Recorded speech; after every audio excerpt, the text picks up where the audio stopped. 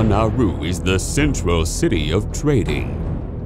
Back when ships from Valencia would anchor in Naru, children would greet the merchants and fireworks would light the skies.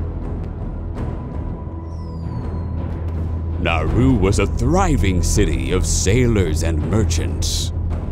And crowded areas were guarded by mercenaries. Little did they know what had arrived.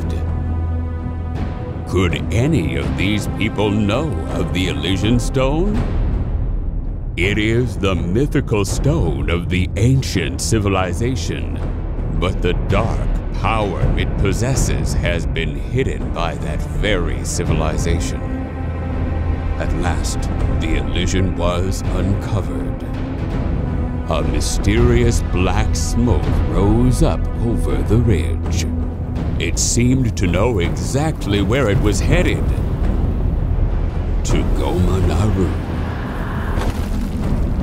The Elysian stone reverberated.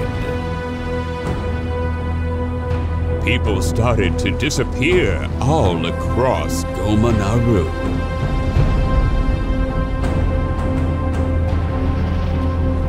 In the end, there was no one left, and that day was soon forgotten.